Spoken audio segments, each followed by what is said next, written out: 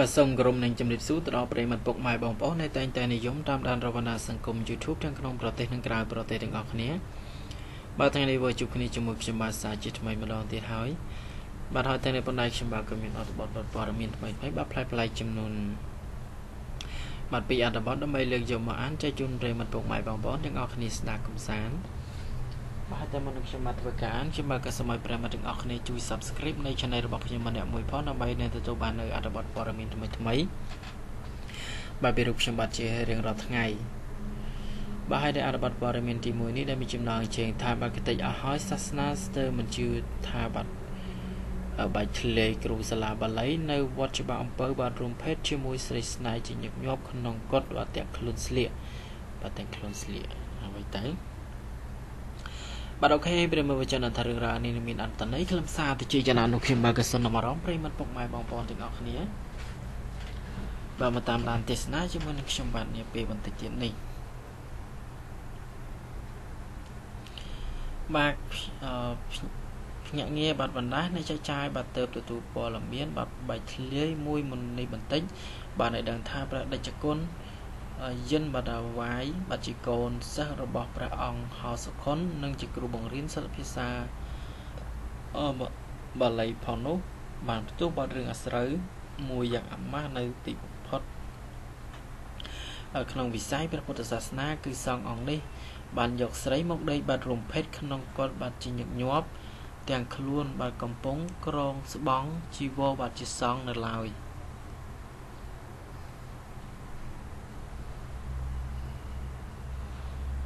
នៅឡើយ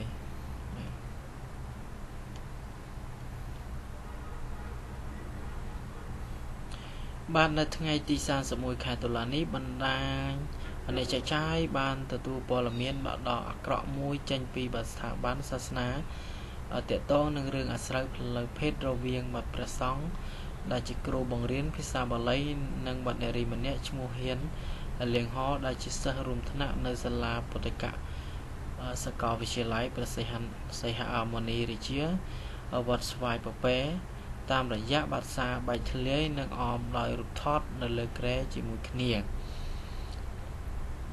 បាទត្រូវបានគេដឹងថាបាទបកគោទាំងនេះបាទពជាធ្លាប់មានទំនាក់ទំនងស្នេហាដ៏ជិតស្និទ្ធបាទជាមួយគ្នាខ្លាំងណាស់តាមសកម្មភាពនាពេលកន្លងមកបាទក្រោមខ្សែភ្នែករបស់ប្រជាពុទ្ធបរិស័ទ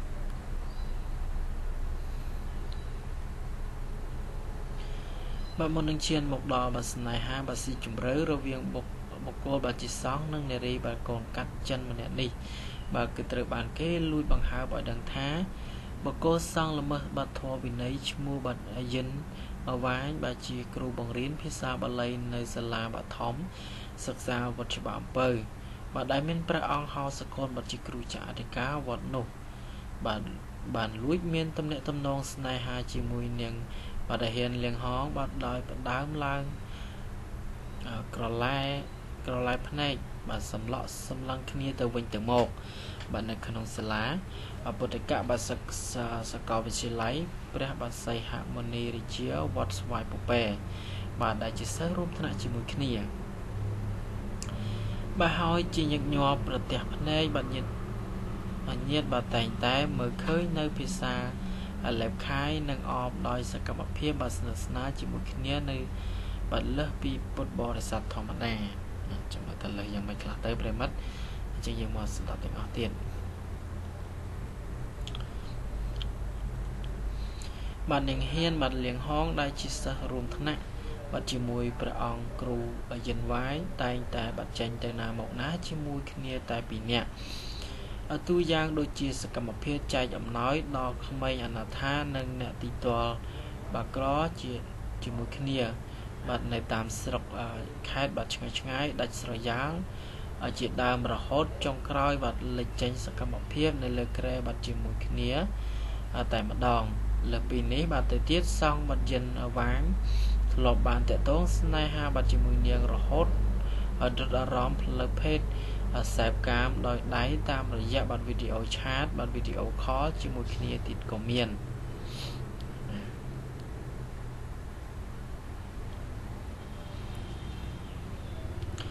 បបាទតាមប្រភពព័ត៌មានបានបែកធ្លាយនេះដដែលបានឲ្យដឹងបន្ថែមទៀតថាបាទតំណែងតំណងស្នេហាលុយលាក់រវាងសង្ឃយិនវាយដែលជាកូនសិស្សផ្ទាល់របស់សង្ឃទីប្រឹក្សាហៅសុខុននិងនាងអាហ៊ានលៀងហងគឺ គឺបានកើតឡើងក្នុងពេលវេលាបាត់ជាយូរមកហើយ ក្រោយមកបាត់ក្រោមការបាត់លួងលោមនិងបណ្ដោះធွာស្នេហាដល់នាងរហូតឈានទៅដល់ការរួមភេទបាទជាញឹកញាប់នៅទីនៅទីស្ថានបាទមានសភាពស្ងប់ស្ងាត់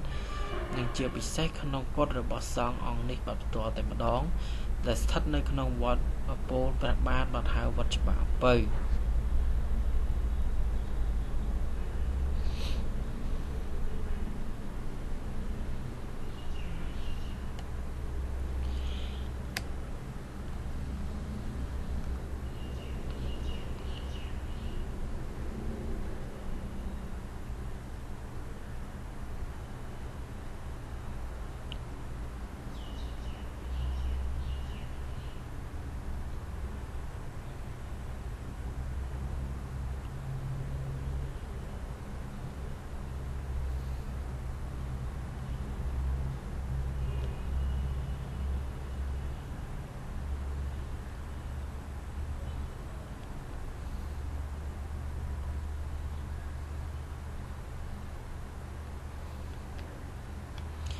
អញ្ចឹងប្រិមត្តបាទយើងមកទេសនានៅកម្ររូបភាពទាំងអស់គ្នាបាទនេះរហសខុនគឺល្បីខាងណារហសខុនបាទជីសតាលូស៊ី507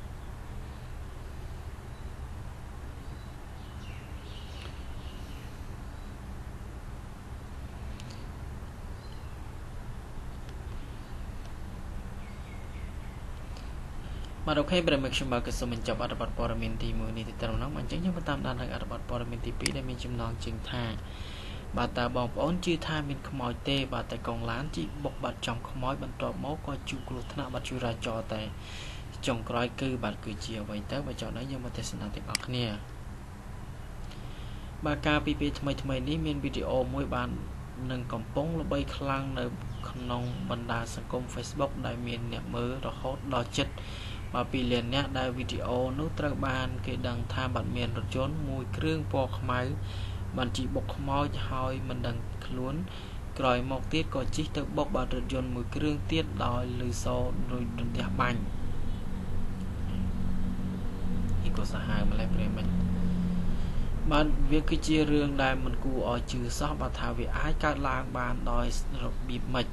បើតាមម្ចាស់ឡានដែលមានបាកាមេរ៉ាដែលថតជាប់ខ្មោចបានឲ្យដឹងថាក្រោយពេលកាត់ហេតុគាត់ក៏ចុះពីលើឡានដើម្បីមើលជនរងគ្រោះ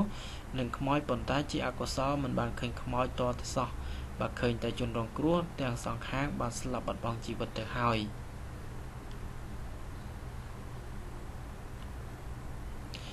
បើតាមបានមតិអ្នកនិយមលេង Facebook បានបង្ហាញថាបើខ្មោចមិនគួរឲ្យមិនគួរបាត់ធ្វើដូច្នោះទេបើទោះបីជាគេជីបុកខ្មោចមែនក៏គេមិនបាត់មិនបានដឹងខ្លួនដែរព្រោះគេមើលមិនឃើញ ហើយចំពោះខ្មោចក៏ដូចនេះដែរបើខ្លួនបានស្លាប់ហើយមិនក៏មិនទៅចាប់ជាតិទៅបាននៅចាំអីមកយកបាត់ជីវិតគេទៅដែរបើខឹងគេបុកខ្លួនឯងបាយជាធ្វើ ឲ្យគេស្លាប់ដោយសារខ្លួនអាខ្មោចឡប់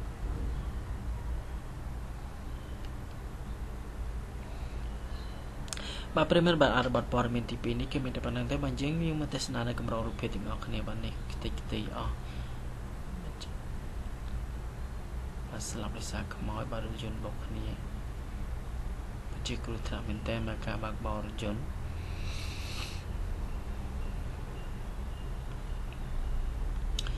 បាទអូខេប្រិមិត្តខ្ញុំបាទគឺសូមបញ្ចប់អត្ថបទព័ត៌មានទាំងអស់នេះទៅត្រឹមហ្នឹង